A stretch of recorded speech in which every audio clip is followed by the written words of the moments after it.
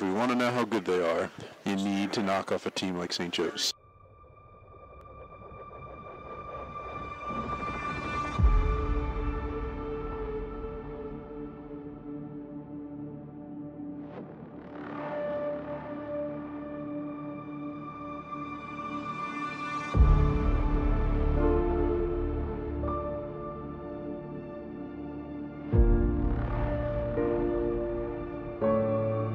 The first drive, both ways, offense and defense, they came out and were like, oh, they're pretty big. Like, maybe we can't compete. But then we're like, wait, we're Ocean City.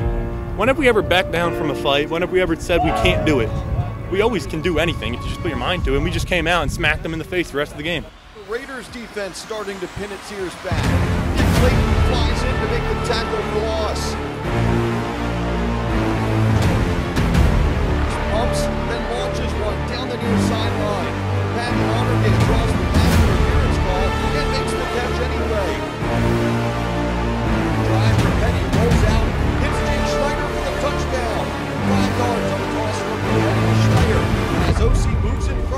Front 10 to 7 at the half.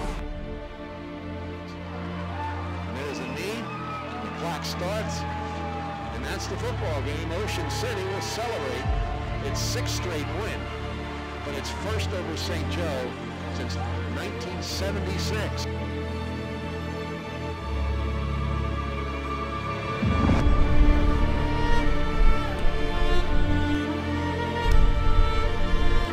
Misdirection in the backfield as Jack Hogue has the ball. Quarterback Riley Gunnels out in front to block as Hogue scoots in from 19 yards out.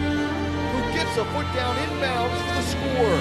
The second touchdown of the day for Jack Hogue. Look to this side.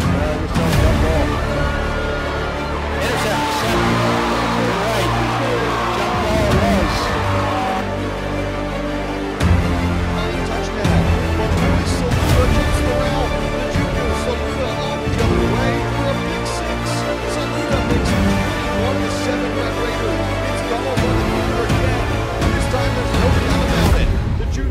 Strolls in for his second score of the day. Third, the Pirates go up top, but Ricky Wetzel flies in for the interception. Wetzel with a nice return. Ocean City settling in here in the second quarter. Jake and Sarah with a tough run up the middle to move the sticks for the Raiders. Moving the ball on the ground in this one until Duke Gunther gets the call in the fourth. Watch as he spins out of the tackle and then rumbles in for the touchdown. The Raiders Gunther in the end zone as he ties the game at 20.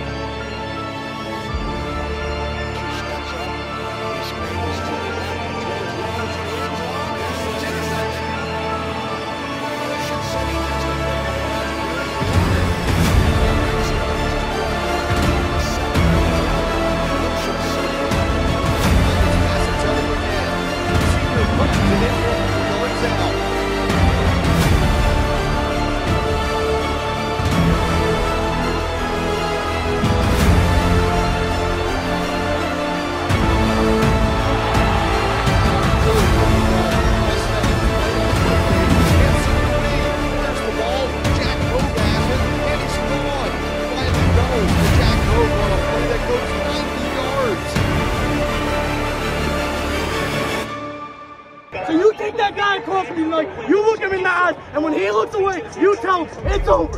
Because you're going to punch him in the mouth for 48 minutes. Because they can't handle kids that are relentless like us. They don't want kids that are like us.